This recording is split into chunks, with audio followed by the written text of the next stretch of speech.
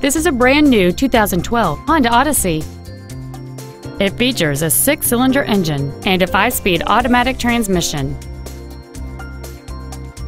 Features include air conditioning with automatic climate control, a split folding rear seat, cruise control, a CD player, a passenger side vanity mirror, a security system, traction control, an anti-lock braking system, a home link feature, and a power driver seat. With an EPA estimated rating of 27 miles per gallon on the highway, this vehicle does not compromise its fuel efficiency for size, comfort, or fun. Please call us today for more information on this great vehicle.